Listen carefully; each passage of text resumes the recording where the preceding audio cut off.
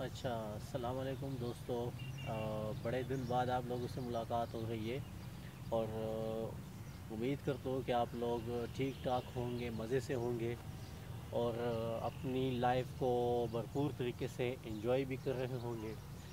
सो जिस तरह आप लोग देख रहे हैं इस वक्त मैं एक गार्डन में यानी एक पार्क में जो है वो मौजूद हूँ और आप लोगों से मुखातिब हूँ।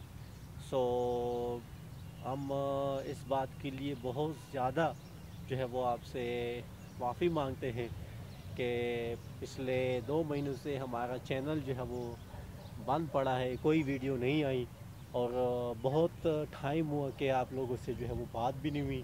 तो इन कुछ ही दिनों में हम अपना जो है वो काम स्टार्ट करेंगे, अपना जो हमारा चैनल था, यानी जिस तरह से वीडियो चल रही थी। तो वो इन हम शुरू करेंगे और आप लोगों से फिर जो है वो डेली बेसिस पर हम जो है वो मुलाकात करेंगे मुखातिब होंगे। सो अभी तो आप लोग देख रहे हैं कि मौसम बड़ा अच्छा है धूप निकली हुई है मज़े से जो है वो पार्क में परिंदे भी जो है वो उड़ रहे हैं और थोड़ा थोड़ा जो है वो शोर भी मचा रहे लेकिन अ, जो इस वक्त हालात चल रहे हैं जिस तरह से तो ऐसे हालात में आप लोगों को काफ़ी ज़्यादा जो है वो एहतियात करने की ज़रूरत है।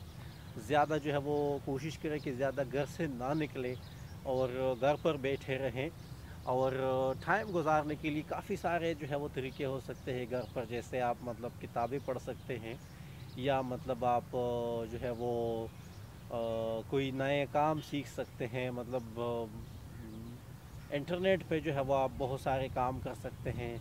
सो मेरा आप लोगों से ये रिक्वेस्ट है कि आप लोग जो है वो ऐसे हालात में घर से बाहर ना निकलें और घर में आराम और सुकून से बैठिए, क्योंकि बाहर आपको पता है कि क्या हालात चल रहे हैं और ऊपर से रोज़ा भी है, रमज़ान का महीना भी है तो फिर तो बहुत ज़्यादा जो है वो मतलब कि एहतियात करने की ज़रूरत है आप लोगों को, आप लोग जो है वो ज़्यादा से ज़्यादा एहतियात करें।